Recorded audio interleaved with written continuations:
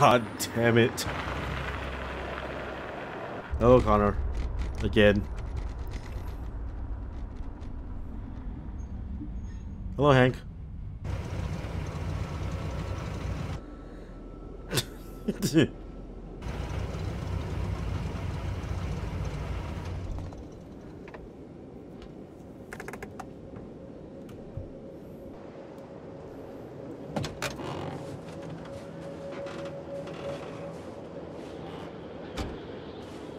Hi. Jesus Christ. Not well, not exactly. My predecessor was unfortunately destroyed. But Cyberlife transferred its memory and sent me to replace it. You died in my arms. And now you're back here Yeah. as if nothing happened. Fuck you. But this, uh, I saved you.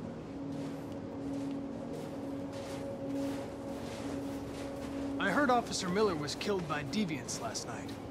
My condolences, Lieutenant. I didn't know him very well, but he seemed like a good person. He was executed in cold blood with his own service weapon. Just became One a of- father three months ago. One of them was the. One of them was Officer man. Miller. Oh boy. That don't feel good.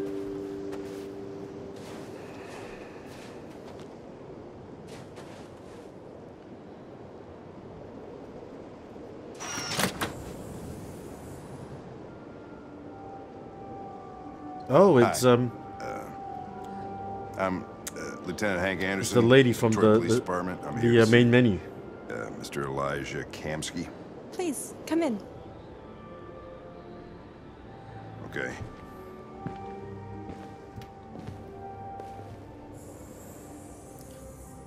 Hello.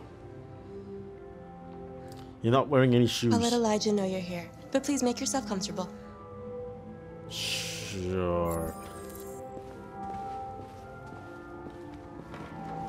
Tony Stark.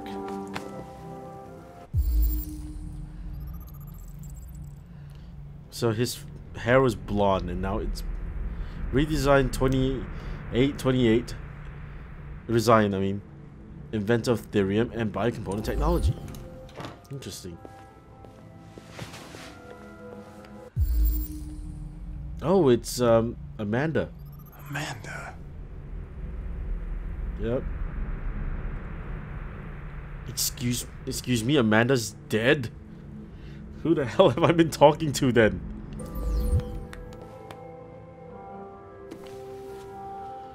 Space tourism on the rise.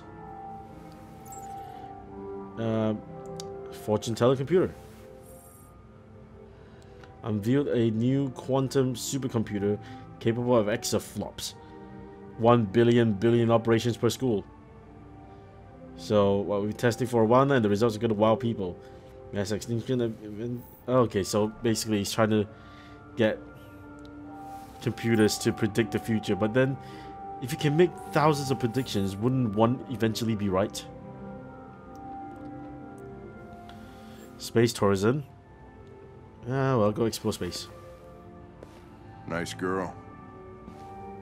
Um, sure. You're right. She's really pretty. Nice place. Guess androids haven't been a bad thing for everybody. So you're about to meet your maker, Connor. How's it feel? Um, indifferent. It doesn't raise any existential questions. If that's what you mean. Sometimes I wish I could meet my creator face to face. Would you? I'd have a couple of things I'd want to tell him. Oh, you can see Hank's face just reset. You're like, "Hmm?"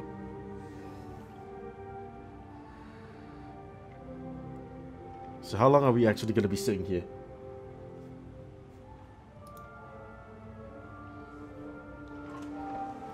Oh, Elijah will see you now. That's good.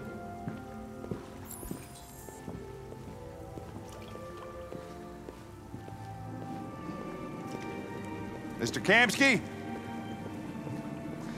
Just a moment, please.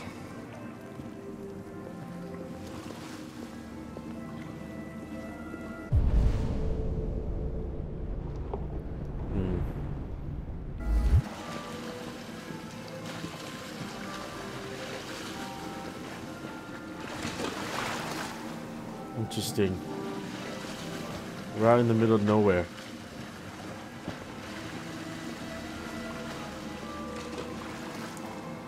He drinks.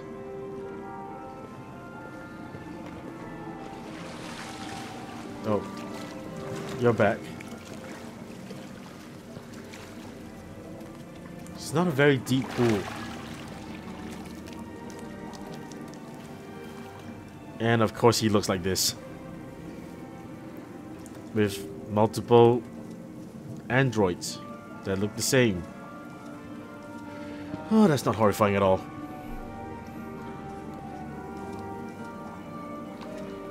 I'm Lieutenant Anderson. This is Connor. What can I do for you, Lieutenant? Sir, we're investigating deviants. I know you left Cyberlife years ago, but I was hoping you'd be able to tell us something we don't know. I also love it if you turn the uh, music off in your house. Deviants. Fascinating, aren't they? Perfect beings with infinite intelligence. And now they have free will. Machines are so superior to us. Confrontation was inevitable. Humanity's greatest achievement threatens to be its downfall. Isn't it ironic? Weird, but sure. Um, let's talk about deviants. Something in the Deviant's program seems to emulate emotion. We thought you might know something about how that occurs. All ideas of viruses that spread like epidemics. Is the desire to be free a contagious disease? Listen, I didn't come here to talk philosophy. The machines you created may be planning a revolution. Either you can tell us something that'll be helpful, or we will be on our way. What about you, Connor? what about me? Whose side are you on? Let's be direct. I'm on the human side, of course. Well, that's what you're programmed to say. But you.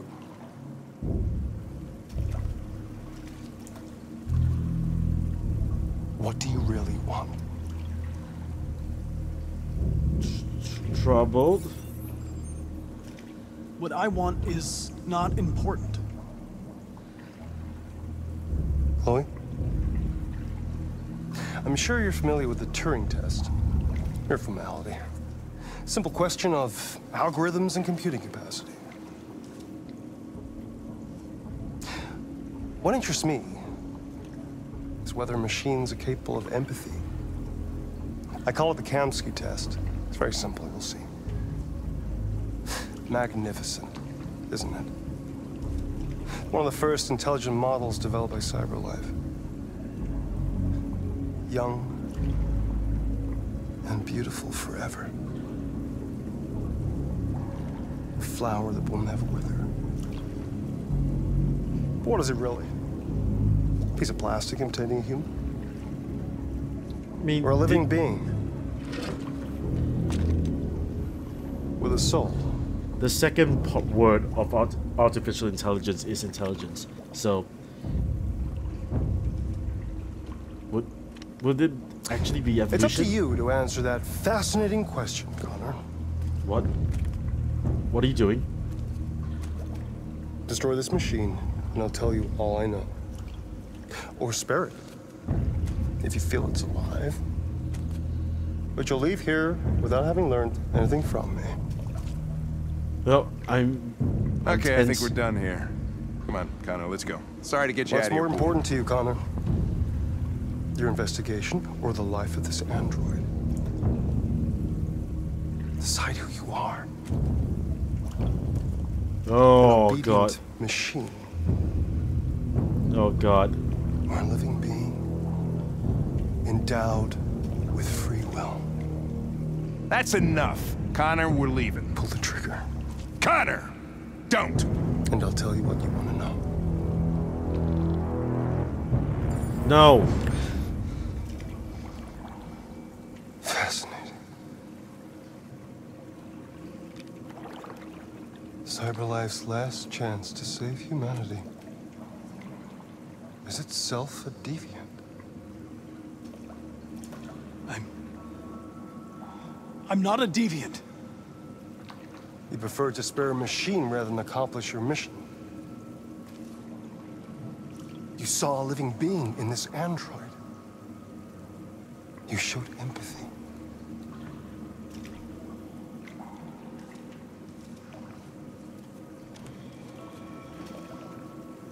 A war is coming. You'll have to choose your side. Will you betray your own people or stand up against your creators? What can be worse than having to choose between two evils? Let's get out of here.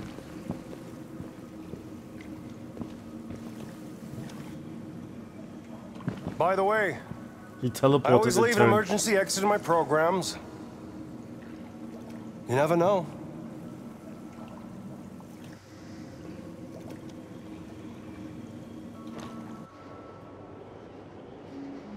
Why didn't you shoot?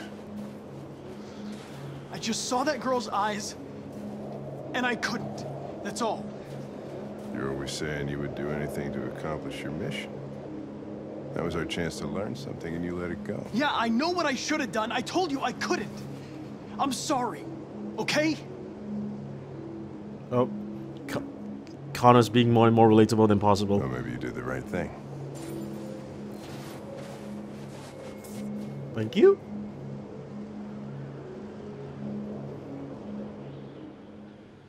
I guess.